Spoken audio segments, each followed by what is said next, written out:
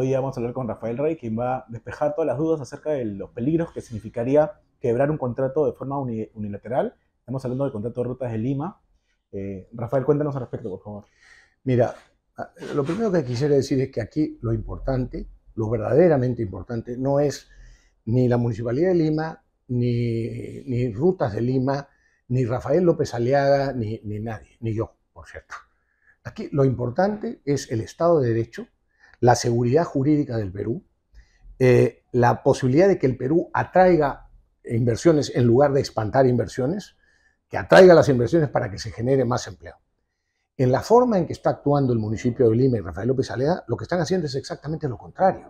No pueden tratar, no pueden de, desconocer el, sistema de arbitraje, que es fundamental en el sistema mundial actual y por supuesto en el Perú. El problema es que la gente está eh, eh, mucho más, muy, mal informada, digamos. Eh,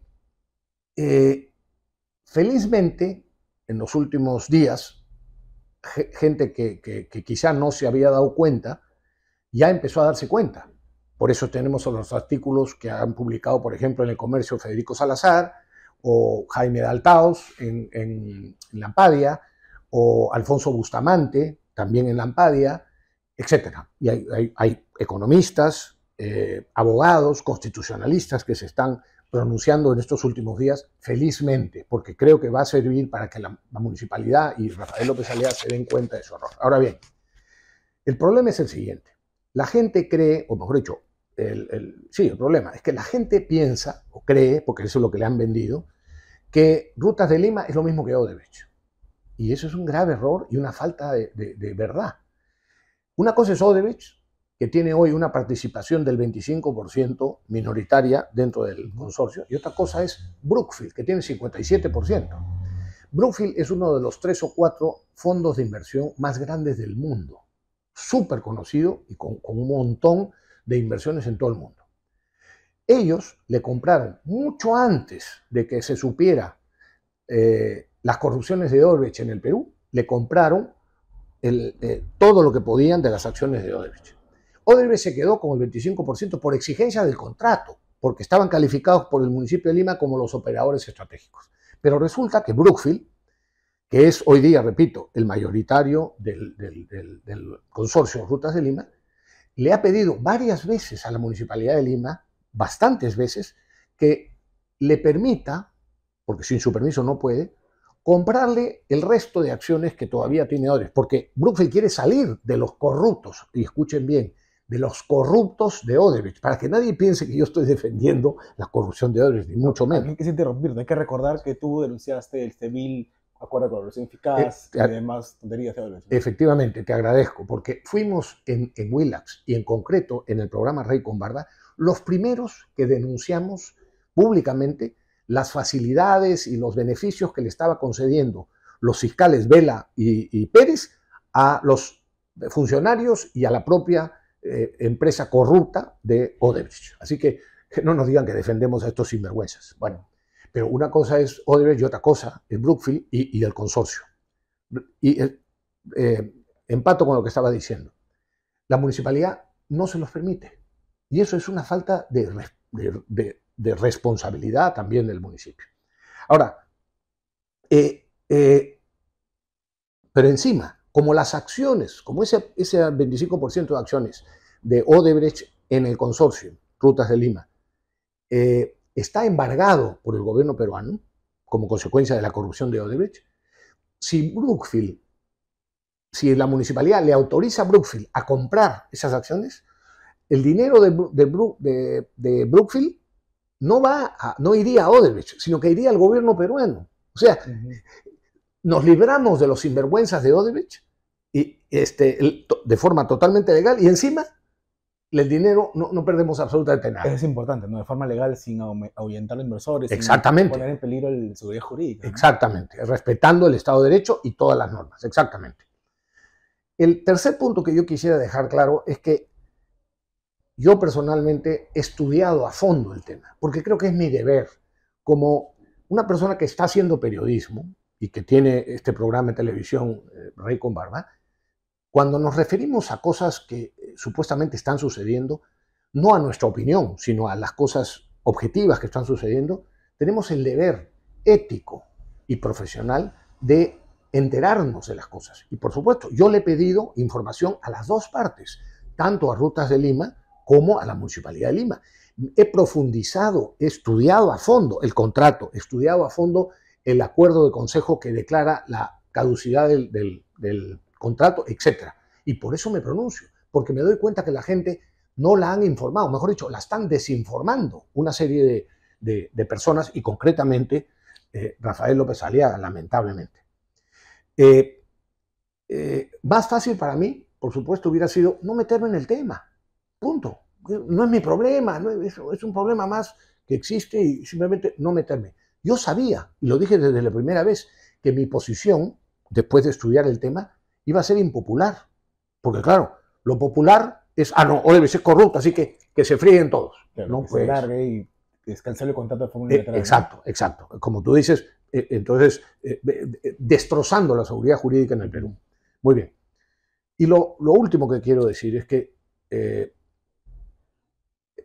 Rafael López Aliaga, sobre quien yo siempre me he expresado de manera respetuosa, incluso le he reconocido su rectitud de intención, estoy convencido de que está rectamente intencionado, pero él no puede moralmente difamar como está difamando a quienes no coinciden con su opinión o con su manera de actuar. Y en concreto, yo quiero dejar testimonio de que yo conozco a Jaime Crosby de muchos años atrás. Yo ni sabía que era el gerente general de, de, este, Rutas de Lima, del consorcio. Pero me consta que Jaime Crosby es un hombre honesto a carta cabal y un gran profesional. Y, lo dejan como si fuera corrupto. O, por ejemplo, lo que ha, dicho y ha dado a entender Rafael López Aliaga sobre estos tres árbitros, uno de los cuales fue elegido por su propia, por él mismo, por su propia administración, que los ha dejado como si fueran corruptos, que, que, habrían cobrado 500 mil, no, cosa que es absolutamente eh, eh, falsa. Y ah, finalmente, eh, el presidente de Brookfield en el Perú, que es el hijo, que es Rodrigo Franco Martínez, que es hijo nada menos que de Rodrigo Franco, el, famoso que asesinó eh, eh, Sendero Luminoso, que a quien también conozco desde bebé y sé perfectamente de su honradez y de su honestidad. Entonces no puede, no puede difamar como, lo está haciendo. Finalmente, yo espero que las reflexiones que hago, que hacemos, que hemos hecho, y las que están haciendo, como digo, constitucionalistas, economistas, exministros de Economía, eh, abogados, etcétera, lleven al municipio de Lima y a Rafael López Aliaga a reconocer sus errores. Es humano equivocarse. Es de nobles saber rectificarse. Y es de gente decente, por cierto, disculparse con aquellos a los que se ha ofendido, probablemente sin querer, pero, pero que se les ha ofendido finalmente, ¿cuál sería el peligro de que, como él señala, ¿no? que obliga a Ruta de Lima a entregar los peajes el 29 de julio? Bueno, eh, jurídicamente, legalmente, no puede hacerlo. No puede hacerlo, después de que existe ahora la medida cautelar. O sea, el, el, este, este eh, juzgado, llamémoslo así, este... De Naciones Unidas, ¿no? ¿ah? No es Naciones Unidas, pero sí está conformado y está regido por el reglamento que establece Naciones Unidas para los arbitrajes internacionales. Hay dos principales, no sé si únicos, pero principales sistemas de arbitraje internacional. El CIADI, que es el que normalmente mucha gente, del que hablamos muchas veces, porque hemos tenido y tenemos casos ahí, eh, que es el que depende del Banco Mundial, con reglas del Banco Mundial. Y este otro, que no recuerdo su nombre completo, que depende del reglamento de Naciones Unidas y cuya principal está en La Haya, en la Corte Permanente de, eh, Arbitraje Internacional en La Haya. Entonces, desconocer el, eh, como digo, el, la, fallo de un arbitraje. digamos, la, medida cautelar, lo único que ha dicho estos tres árbitros han dicho, ok, recibimos, después de haber sido nombrado dos de ellos, uno, uno por, la, por la Universidad de Lima y el otro por este, Brookfield, y, bueno, por rutas de Lima. Y entre los dos han elegido al tercero. Los tres son gente, permíteme decir los nombres.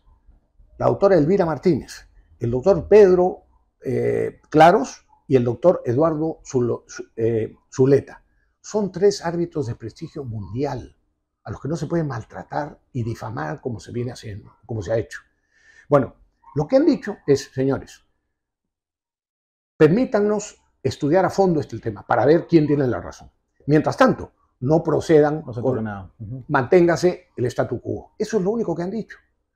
Entonces, lo que no se puede es desconocer ese arbitraje que está reconocido por la Constitución del Perú y por todo el sistema de arbitrajes mundial.